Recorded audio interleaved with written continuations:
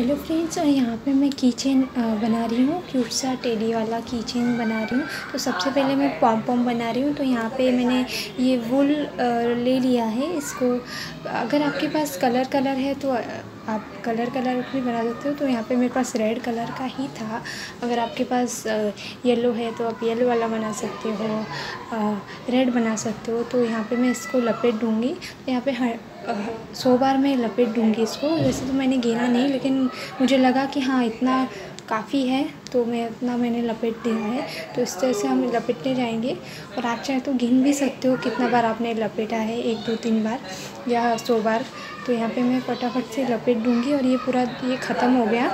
तो अभी मैं दूसरा वाला से इसको बीच में डबल धागा करके इसको बीच में से नॉट लगा दूँगी और टाइट नॉट लगाइएगा आप। और फिर इसको थोड़ा निकालने में मुझे थोड़ी सी दिक्कत हो रही थी।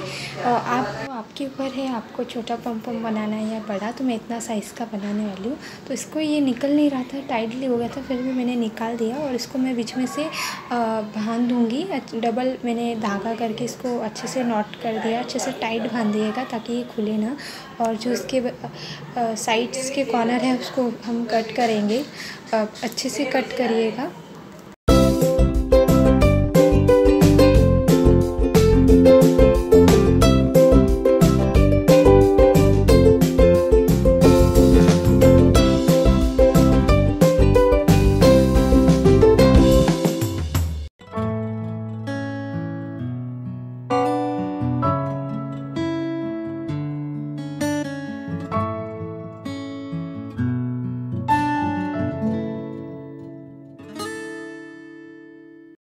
साइड के कॉर्नर कट करिएगा देखिएगा अच्छे से कट कर हो रहा है कि नहीं। और यहाँ पे कैची मेरा धार नहीं था तो थोड़ी सी दिक्कत हो रही थी मुझे कट करने में। और इसको मैं शेप दूँगी राउंड सर्कल कोशिश कर रही हूँ मैं शेप दे पाऊँ पर थोड़ा सा सीज़र का थोड़ा आ, कट नहीं हो रहा था फिर भी मैंने इसको अच्छे से राउंड शेप दे दिया है। हम छोटा सा टेडी बनाएँगे। टेडी या डॉगी जो भी कह लो आप तो उसको मैंने अच्छे से मैंने कट कर लिया। और देख सकते हो वहाँ पे थोड़ी सी नीचे ज़मीन थोड़ा सा गंदा हो गया है, कोई बात नहीं, बाद में साफ़ कर लूँगी।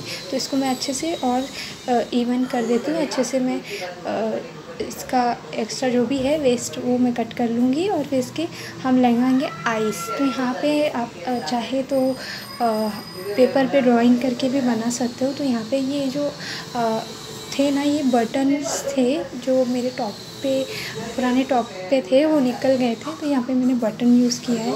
आप चाहें तो देख सकते हो, यहाँ पे मैंने बहुत सारे पम्पम बनाए थे। ये अभी के पम्पम नहीं कब से बना के रखे हुए हैं तो देख सकते हो अलग अलग साइज़ के हैं, बड़े, छोटे, और ये मैंने बनाया। तो अभी मैं ये वाला यूज़ करूँगी तो सबसे पहले ये देख सकते हो, ये टॉप के बटन थे।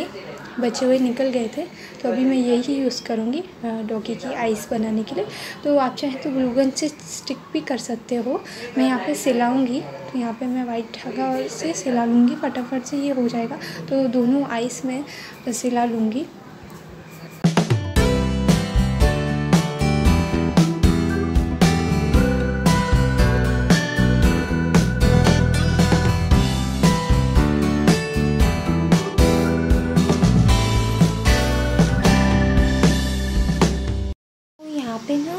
मेरे पास जो टॉय था ना टेडी था, उसका ये था वाइट वाला। तो मैं यही यूज़ करें। आप चाहे तो कोई भी वाइट कपड़ा यूज़ कर सकते हो, छोटा वाला। और उसमें आप चाहें तो कॉटन भर सकते हो। तो यहाँ पे जो इसका गिर गया था ना पम्पम का तो वही मैं इसमें, इसके अंदर डालूँगी। तो थोड़ा नाक, जो इसका हम नाक बनाएँगे तो इसका नाक थोड़ा सा बड़ा था तो उसको मैं छोटा इसका साइज़ का कर दूँगी प्रॉपर और यहाँ पे मैं सिलाने वाली थी इसका एक छोटा सा पोटली बनाना है आपको। यहाँ पे मैंने सिलाया नहीं, मैंने भान दिया है। किस तरह से छोटा सा गिफ्ट रैप करते उस तरह से मैंने इसको भान दिया है। और इसका जो एक्स्ट्रा है, वो मैं कट कर दूँगी और इसको भी मैं सिला लूँगी। यहाँ पे मैं ग्लूगन यूज़ नहीं करी मैं फटाफट से सिला लूँगी तो ये हो जाएगा। देख सकते हो, मैं सिला के मिलती हूँ।